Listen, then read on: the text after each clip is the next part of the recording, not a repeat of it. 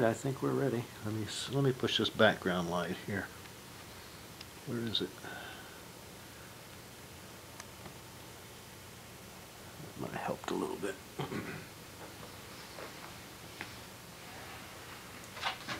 Okay, Al, you told me your name, Alan Lee Chapman, and your birth date is February the uh, twentieth? What, February, what? 1950. 1950, okay. And um, I always like to get a little timeline here, a genealogical line. Uh, What were your parents' names? Uh, Charlotte Newman, Okay, your and mother, uh, that was my mother. My father's name was Forrest Chapman. Forrest Chapman, okay. Do you know their parents' names? Yeah. Forrest, yeah, uh, Hannah Meeks okay, and Clarence Chapman. okay. Um, How far back can you go? You couldn't go to great-grandparents. No, I can't. Is that written down anywhere?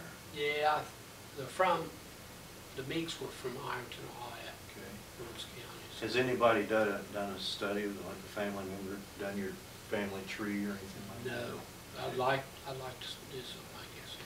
Now, what were your mother's parents' names? Isabel Allen and John Allen. Were they from Ironton?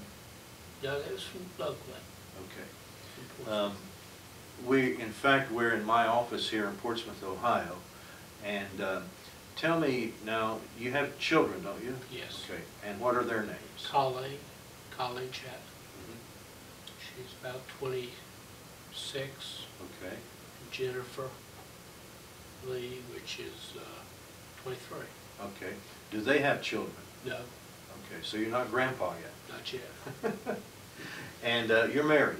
Yes, Okay, what is your wife's name? Sheila Ann Chapman Okay, what was her maiden name? you know? Thompson. Okay. Now, um, where were you born? I was born in Portsmouth, Ohio. Okay. What is your present address? Twenty-seven oh eight Dogwood Ridge in Wheelersburg, Ohio. Okay. And what is your occupation? You're retired? I believe? Retired from the state of Ohio. What did you do with the state of Ohio? Uh, Worked for the Department of Corrections.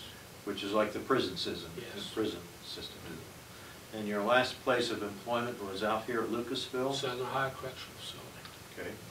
What did you do in, in your capacity there as, as working for the state prison system? I was there thirty years. I started in February 12, nineteen seventy-three. I started out as a correctional officer. I was a correction officer for seven and a half years. And I got promoted to sergeant for three and a half. I went to college and became a social worker. And from social worker, we reverted, or reverted into unit management, so I became a case manager. From a case manager, I became a unit manager, unit manager to a unit manager and administrator, Okay. Now, uh, so where did you graduate from high school? Portsmouth High School, What year was that? 1968. And uh, you graduated from college? College? Yes. What school? Ohio University, When? 1980. Okay. And um, now you were you were in the service, weren't you? Yes, I was. What Air Force? Uh, I got drafted in the U.S. Army in 1969, October the uh, 9th, 1969, Okay. And uh, where did you do your basic training? Fort Knox, Kentucky. Now, um, uh, did you stay in for a career, or what? How long were you in the service? Well, I did my two years in the Army. I got out two years later, October 8th, 1971.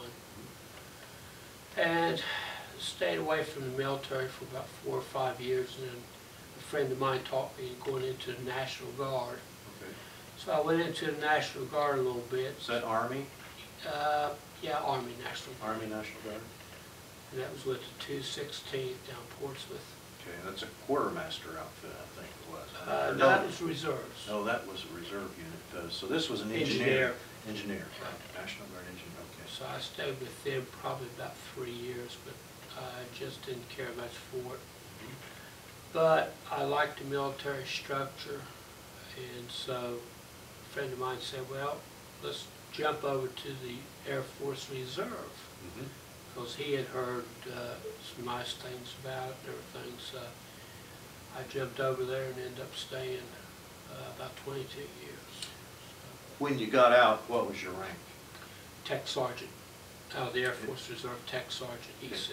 E six, all right. Now, when you, you went in the Army, you were drafted, you said? Yes, Okay. And uh, you did your basic at Fort Knox? yes. And then where did you do your AIT? I went to Fort Dix, New Jersey, Okay. And uh, what was your MOS over there? 63 Bravo, which was a wheel vehicle mechanic, Oh, You were a mechanic? yeah. Okay. And uh, how long was your AIT in, in Fort Dix? Now, that's New Jersey, isn't it? Yes. Okay. Remember that? Yeah, it was uh, eight weeks, I believe, two months. Okay. Now, after that, where were you stationed? I ended up staying in Fort Dix The whole two Yes. years? Okay. for the remainder of my time. That was during Vietnam, you never went overseas? Yep. I, I never went overseas either. I was in from sixty-seven to sixty-nine. I I scratched my head as to why, Right. why. I mean, Why? we was just one, took, it was two lucky guys right here. I guess so. And um, the whole thing at Fort, Fort Dix, you didn't go to Germany either, No. Okay. Um, You got out then two years later. Did, did you like that two years in the Army? What did you think? I almost stayed in. Mm -hmm. Uh, I don't know, really know why I didn't, because I was single, I Mhm. had no children, no wife. Uh, I could pretty well do what I wanted to do and everything, but Mhm. uh, I had a job waiting on me when I got out, so I didn't have to. Where did you have a job waiting on you? FBI, Oh, really? Federal Bureau of Investigation. Did you go into the, I had worked for FBI before I got drafted, I see. and uh, they promised me my job when I got out. Mhm. What did you do for the FBI? Fingerprint technician, Oh, I see, okay. How old were you when you were drafted? 19. Um, While you were over at Fort Dix, then that would put you up um, close, I don't know how close, I'm not exactly sure. How, how close were you to New York? Uh, not, not very far, because we had went to New York. Uh, In fact, I spent a New Year's Eve in New York. Did you? Yeah, seeing 19, uh, uh, 1971 coming in on Times Square. So, um, um, what does a young, married, enlisted Army guy do when he goes on can't, I- well, Goes on leave. the married ones, which I wasn't married, married ones stayed back.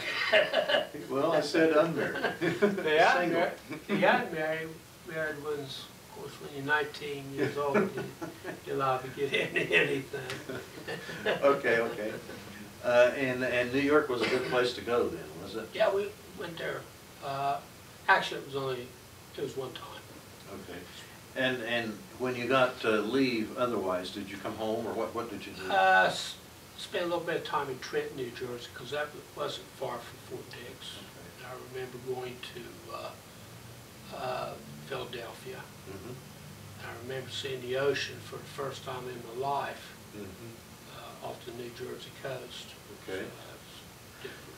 W- Was that when you were, you were at that time a four-wheel vehicle mechanic?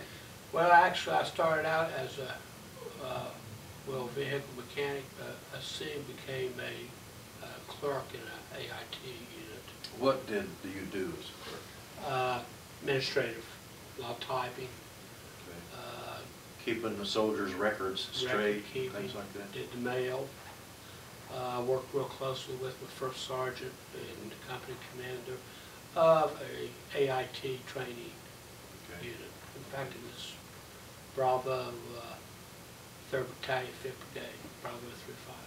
Okay, what was the AIT over there? Was it the, the mechanical school? Uh, yes. Okay. For, for the others, it was mechanical Right. school? Okay. Well, now, uh, you were a couple years there and got out and stayed away from the Army and went into the National Guard. Right. What was your MOS in the National, that's the Army National Guard, what was your MOS there? I had to go to Fort Sam Eustis to be a medic, Right. Field Okay. medic, Okay, So they made you a medic? huh? yes. Looks, looks like they might have kept you as your uh, mechanic MOS. I mean, they had vehicles in that unit, engineering battalion, I think, stuff like that. But, um, did you like Fort Sam Houston? That's San Antonio. First time I was ever out, out that further west. That Really? was different, yeah. Okay. It's hot, All good training, uh. Uh, so then you came back, were you the company, uh, medic then, or what? I was, we had, it was an attachment, we had a medic, Mhm. uh, medics were attached to the two sixteenth. In fact, we were, Mhm. we were up in Ironton, Ohio, Oh, at their armory up there. Now, at that time then, uh, would you have also been working at the prison at that time? Yes. Okay. And um, uh, where would you go for your annual training? Places like that? Camp Perry? Well, in, in the army, went, to yeah, I went to Camp Perry, Mhm. uh, I think probably twice. Okay. And I had one going to Camp Grayling, but that's when I went to Fort Sam Houston, so I was kind of glad that I didn't have to go there. Okay. How long were you in the National Guard? About three years, probably two to three years. Then when did you jump over to the Air Force? Uh,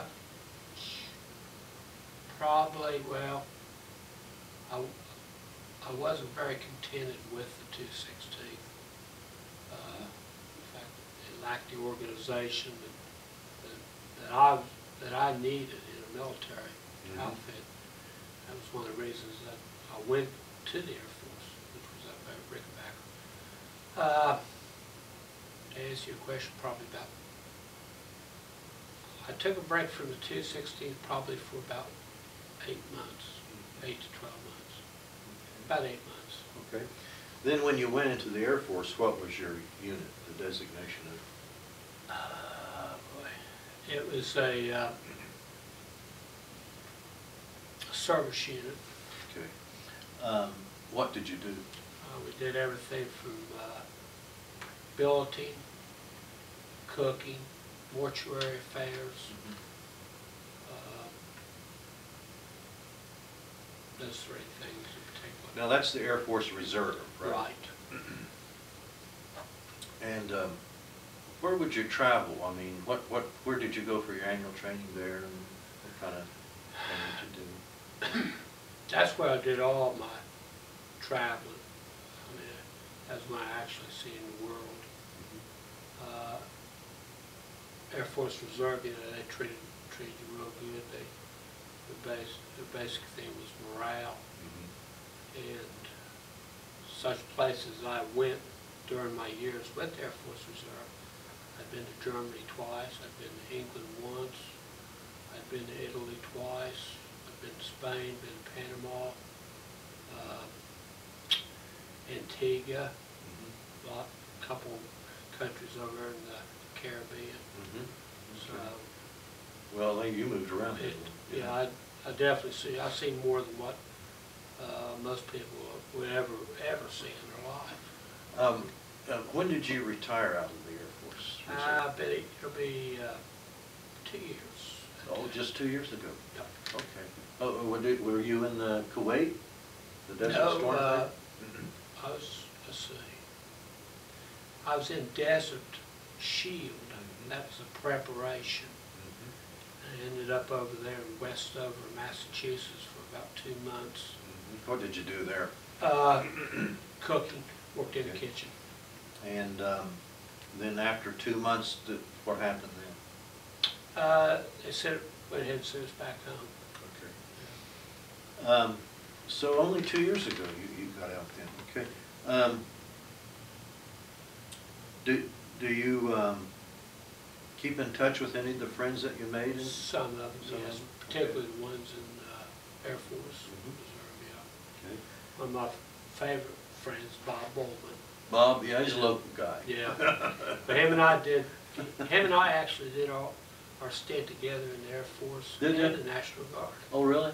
Yeah. Yeah, he was in the Army. I, I got him on there Yeah. somewhere. He was in the Marine Corps, Marine Corps, I thought he was in the Army, okay. but he was with the two sixteen. That's how I ended up meeting him. He's a wild guy. Uh, Do you, do you have anything else you'd like to say? Al, uh, do you have any tattoos you want to talk about or anything? Nah, I I never tattoos.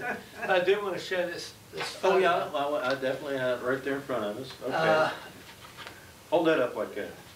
Now, is that Air Force or Army? That looks- is Army. That- Army. That was taken in October nineteen sixty-nine, and I call this picture, it was actually the day that Al, Al Chapman became a man because What happened then? the military, you either gonna grow up on your own or they're gonna make you grow up. Yeah? And at 19 years old and being drafted, and somebody that uh, would go to the military, but they had to, had to come and get her. Uh, Okay, I great. have to say one thing before we close. It's the best, military is probably one of the best things that ever happened to me. Really? Why do you say that? Well, I grew up, I learned responsibility and everything. 'Cause Mhm. at 19 years old, back in, you could care less about But you were working for the FBI then? Yeah, but I was, I was at a standstill that, uh, I wasn't that pleased with, you know, with the job. I wasn't one of those people in my team that would go out and get in trouble Mm-hmm. or end up in a penitentiary or anything like that, but nineteen years old, you just, your thoughts are a lot more different than, Mm-hmm.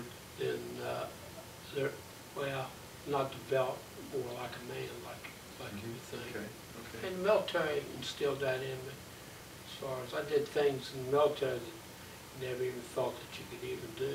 Mhm. You did. Do you still have your uniform? Uh, not my army uniform, no. Good. Air You- Force. You have your Air Force uniform? Can you get in it? Okay. Yeah, yeah, I can. Yeah, well, you were in the service, did, did you ever see anyone famous, like famous generals? or- Uh, no, but, uh, with the FBI, I'll tell you a little story about that. Okay, great. Uh, I knew I was getting drafted in 1969. I worked for the Bureau, the Identification Division. And I asked this special agent, I said, what's the chances, if I had a request, what's the chances of me meeting J. Edgar Hoover? Because I, I always kind of idolized that guy. Mhm. So he, he pulled some strings and everything like that and set up something.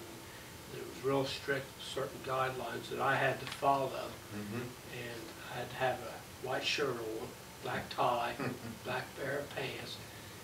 And uh, he said, don't you be asking him any questions. If he wants you to talk, he'll let you talk. So they took me up to the Justice Department and uh, opened the door and introduced me to. Hoover. I shook, shook his hand and he wished me the very best about going into the military and everything like that. And I said, thank you, sir, and that was it. It was a, it was a real highlight. Oh, of my bet, career. bet. Did you get a picture? They didn't No, take pictures? No. You met J. Edgar Okay, well, thanks a